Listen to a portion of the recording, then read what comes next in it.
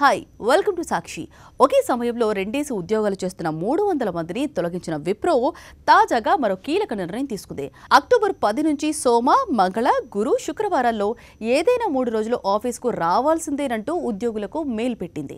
అయితే విప్రో తీసుకున్న ఈ నిర్ణయంపై ఐటీ రంగ ఉద్యోగుల సంఘం అభ్యంతరం వ్యక్తం చేసింది.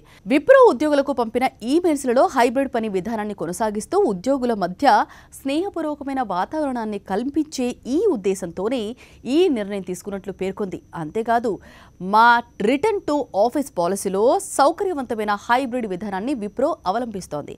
అక్టోబర్ పది నుంచి లీడర్షిప్ రోల్స్లో ఉన్న ఉద్యోగులు వారానికి మూడు సార్లు తిరిగి కార్యాలయాలకు రావాలి.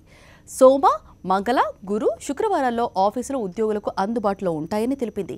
ఈ నేపథ్యంలో ఆఫీసుకు రావాలంటూ ఉద్యోగులకు విప్రో పెట్టిన మెయిల్పై ఐటీ రంగ ఉద్యోగుల సంఘం నాసన్ information technology employees senate president Harpreet సలుజా స్పందించారు. దేశీయ టెక్ సంస్థ ఉద్యోగులకు అకస్మాత్తుగా ఈమెయిల్ పంపింది. కంపెనీ నెల క్రితమే మెయిల్ పంపి ఉండాల్సింది. ఉద్యోగులకు కావలసిన ప్రాంతాలకు చేరుకునే వెసులుబాటు ఉండేది. అలాగే ఉద్యోగుల అనుమతి వారి అభిప్రాయాలను కంపెనీ పరిగణలోకి తీసుకోవాల్సిందేనని అన్నారు.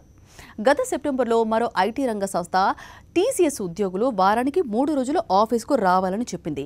రిటర్న్ టు ఆఫీస్ పాలసీలో భాగంగా టీం లీడర్లు హెచ్ఆర్ టీం విభాగంతో చర్చలు జరిపి నిర్ణయం తీసుకోవాలని సూచించింది.